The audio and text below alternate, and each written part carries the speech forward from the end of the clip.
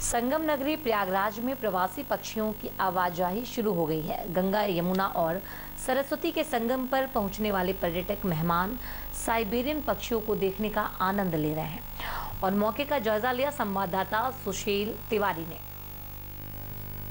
संगम नगरी का नज़ारा काफ़ी खूबसूरत है। संगम में इस वक्त काफ़ी साइबरिन बर्ड्स आए हुए हैं। मेरे साथ में वेस्ट बंगाल की एक फैमिली है, इनसे बात करेंगे। आपका नाम? रश्मि विश्वास कैसा लग रहा है? क्या नज़ारा दिख रहा है बहुत अच्छा लग रहा है हम लोग। वेस्ट बंगाल से आए हैं सिलीगुड़ी।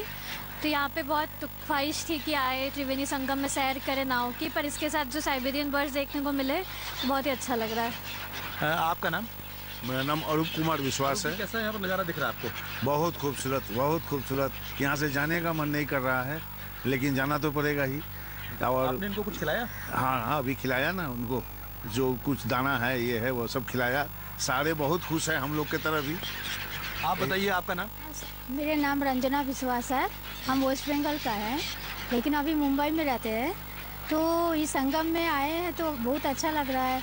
ये कि बालीहास जो है वो सब चिड़िया सब खाना खा रहा है। हम लोग के पीछे पीछे वो लोग दौड़ते हैं। तो ये नज़ारा बहुत अच्छा लग रहा है। नाव में इंटरव्यू ले रहे हैं इस सब लोग। तो ये भी एक्स्ट्रा हमको हम लोग को मिला। यही बात है। तो जिस तरह संगम में यहाँ नज़ारा काफ़ी खूबसूरत दिख रहा है और साइबेरियन बर्ड्स हैं यहाँ पर। हर वर्ष जब गुलाबी ठंड शुरू होती है, तभी आ जाते हैं।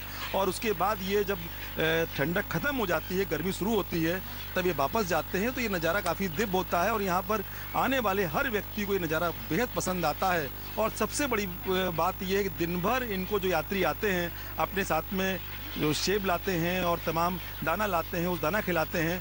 और ये बहुत ही एक जो दृश्य है, बहुत ही सुहावना और एक लुहावना दृश्य है, जिसको देखने के लिए दूर दूर से लोग यहाँ पहुँच रहे हैं। सहारा समय के लिए कैमरामैन शिवेंद्र विक्रम के साथ सुशील कुमार तिवारी प्रयागराज से।